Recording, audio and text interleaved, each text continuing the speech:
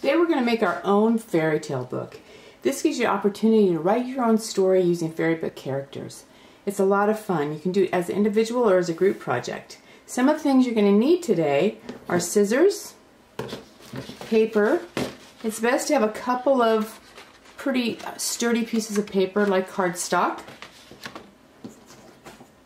a ruler, scissors, a hole punch if you need it, or you can use scissors to poke holes. We'll need some glue, some string,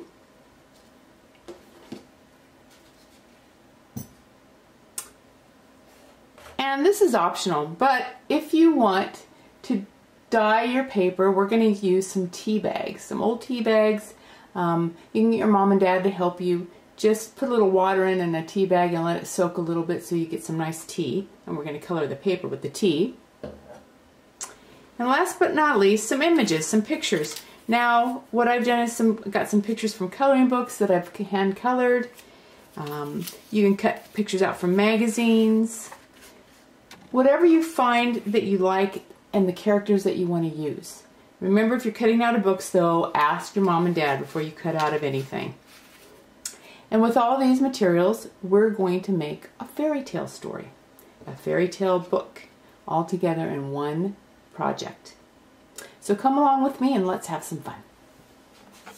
So the first thing you want to do is to find some paper to make your book. The best kind of paper to use is paper that's a little bit thick. It can be cardstock or it can be some of your drawing paper or sketching paper if you have some. Regular paper will work as well. It's just going to buckle a little bit because we're going to get a little damp. Now if you can't find paper that's like card paper like this and you don't want to do the next step, you can just skip the next step. But I'm going to show you a way to make your paper look kind of old, like old fairy tales. So you have to ask your mom and dad to help you with this. You boil a little water and you just need a little bit and put it into a cup and then put a tea bag. Now if your mom and dad drink tea or even coffee, some leftover coffee would work. You just make sure that it's nice and cool and take the old tea bag or new one and just lightly go over your paper like this. And what you see is you're going to have the paper turn a little bit dark. And it kind of looks like paper does when it gets old. You don't have to do it too much because it, it gets too wet and then it starts to buckle up. But we're going to just set this aside and we're going to let it dry. So before we start to put our book together, let's work on some of the things that we're going to use to keep it um, tied together. So in the end, it's going to look kind of like this. First thing you want to do is measure out some holes, kind of evenly space these. These are spaced at about two and a half inches apart, but you can do more than that if you want to. And then I'm just going to put some little holes in there, about where they are, using a hole punch. You can also use a pair of scissors if you don't have a hole punch, something to kind of put some some places for your string to go through. So after you've decided what your story is going to be about, then you want to start collecting some images. You can do this by going through maybe some of your old coloring books and color cut out some of the coloring pages that you've used in the past. Or if you want to look on the internet, there's sometimes free coloring pages that you can download and color. Or you can find some pictures from storybooks that you can also download. These are some pictures from old storybooks. I like this kind of picture. And so what I'm going to do is I'm going to combine drawing some images and pasting some images. You can do both. You can draw the whole thing. It just depends on what you what way you want to approach making your book. I like drawing, so I'm going to probably do that a lot more. But as you can see, I have some really nice images that I cut out of Puss in Boots, Peter Pan, Captain Hook, Alice in Wonderland. And like I said before, we're going to combine all these characters into one story. Now my story is going to be about Jack and the Beanstalk and Little Red Riding Hood and the three pigs all coming together in one story. I think it should be fun. And let's see what we can do next. So for my first picture, what you see is you see Jack showing Little Red Riding Hood, the beans. And what I did was to draw them from these two pictures. You can also see that if I wanted to cut these out and paste them on, I could do that as well. So I've just drawn some lines here and I'm going to go back over them hopefully so you can see them. I'm not going to draw the whole thing because I know that everybody's working at home. But just to give you an idea of kind of what I want, I want to see the beans over here in his hand. He's going to have some gloves on. And then around them, I'm going to make a forest with some trees. Because they probably would be in some trees, don't you think? This is a fairy tale after all. So I'll draw some trees in the background, maybe a little path where a Little Red Riding Hood has come up. But I'll finish that up later and I'll show it to you when we're all done with the whole book. But this is what I want you to do. Think of your story, find some pictures, draw your pictures on pieces of paper, either the ones that you've tea stained or just regular paper. If you want just to tea stain your cover, front and back cover, and then put the regular pieces of paper in the middle of that, that would be fine too because you know, the cover will be a little harder than the inside pages. So we're going to go on. I'm going to give you a little break and go ahead and draw some pictures or or paste them together and while we're, we're away from each other I'll do the same and we'll come back and see how we can put our book together. If you're coloring in your pictures I'm going to show you a little trick to give it a little three-dimensional feeling to it. So I'm just going to color in um, Jack's leg on the other side. It's green. But instead of just coloring it just a straight solid green, what I'm going to do is I'm going to start by picking a side that I want to be a little bit darker. Now you can either darken this by using a darker color green if you have one. This can be done with paint, crayons, colored pencils, even markers. And just lay out where I want the dark side of the of his leg to be. Now every time I color something I still want to keep it all on this side to be dark and this side to be light. So here's a little bit of dark on the side of his leg like we've done on this one. And then I can take a lighter green and go back in and color in the area that's the sun is hitting. And I just go back and forth and kind of smooth that out by blending the two greens together. Now with a colored pencil or even a crayon, I kind of go in a circular, I kind of twist it as I'm going so I don't see this, the strokes of the, the pencil. But you can do it any way you want to. This just helps it to blend a little bit quicker.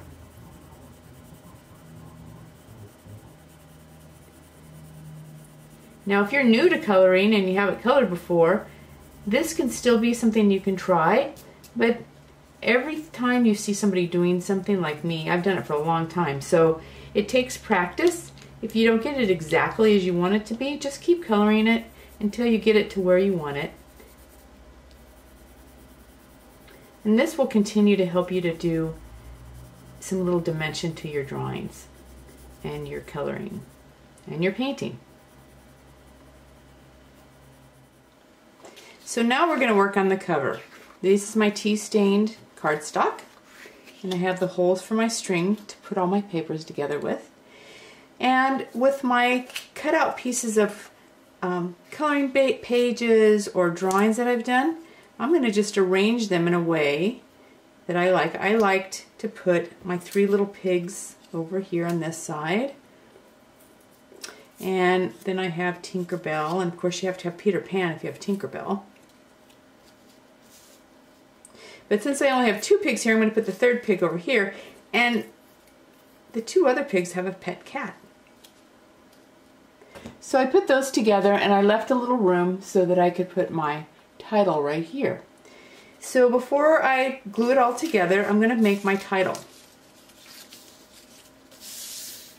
And the easiest way to do that is just to take your ruler and draw some lines for the top and bottom of your letters. And then you can hold your ruler right at the bottom and you can start to write those letters.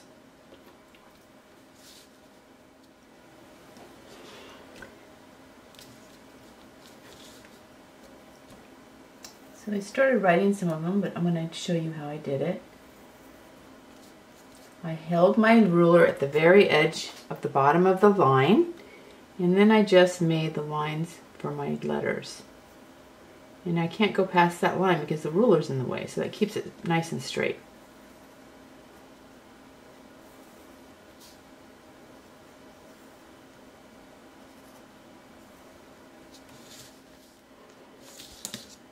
There you go. So after you have that, if it's done in pencil, you can go back over, you can erase if you have something that you don't like, and then you can draw with it with a pen or color it in with a color pencil or a crayon, and that gives you a nice cover. Now, now we're going to go back and assemble all of it. But before we do that, I'm going to let you finish up your lettering and color it in. And then we'll all come back and put it together. Okay, so I'm finishing up my fairy tale book. And I colored my picture that I was talking about in my story. This is Jack and the Beanstalk and Little Red Riding Hood. Jack sells his cow for magic beans and he shows him the Little Red Riding Hood. That's not how the story goes, but that's how my story goes. And the two of them plant the beans and a giant beanstalk just starts to shoot up. And just at the time they're starting to climb up the beanstalk, one of the little pigs from the Three Little Pigs comes and runs and tells him that he has seen the wolf on the prowl. So Jack climbs up the beanstalk and realizes that the wolf is heading into Red Riding Hood's grandmother's house. So they run down, they find the hunter, the three little pigs, Jack, Little Red Riding Hood, and the hunter come to the grandma's house and they get there just in time for, and the rest of the story that you can make up. What I would like you to do is make up your story. You can use characters from all kinds of fairy tales. You can do this as a group project, you can do this by yourself. The main thing is to have fun. Use your imagination. Now once we have all these things together, we're gonna I'm gonna put the last little bit on my book.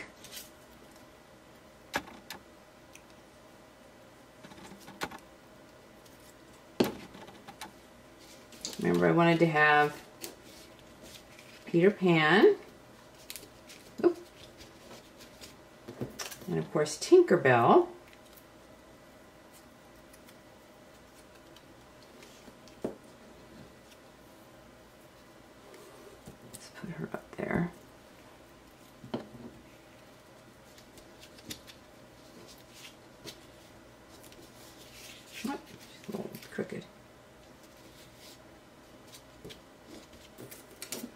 And then the last brother for the three little pigs.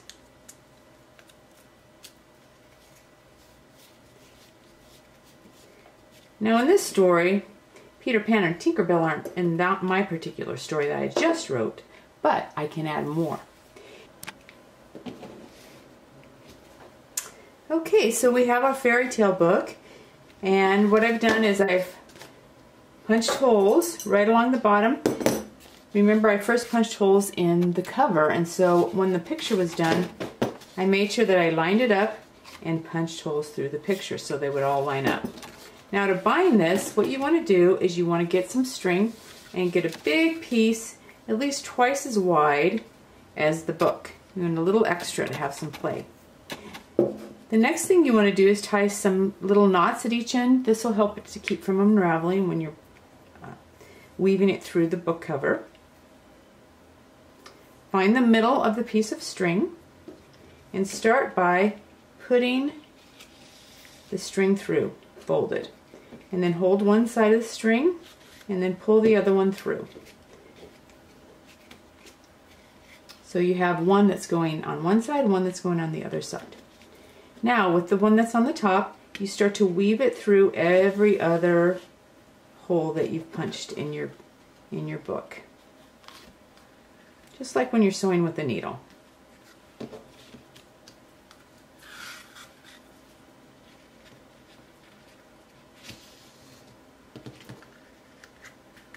all the way to the top. And for the second string, you do the same thing, except you come out, come in the same side that you brought the string under, so that you have another in and out even this up a little bit. So it goes in and out again, but it goes the other side so that what you end up with is a total binding that holds all the paper together.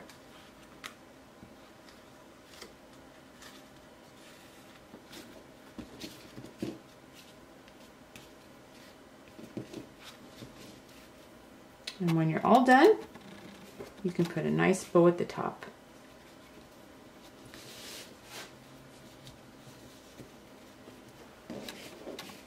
And there you have it, your fairy tale book. I started with one picture, but I hope you do a whole bunch of pictures and tell all kinds of stories. It's very fun to use your imagination. You don't have to stick to the same story. You can write your own. Take your time, think of fun things that you can do, and most of all, be creative. Till next time, we'll see you later.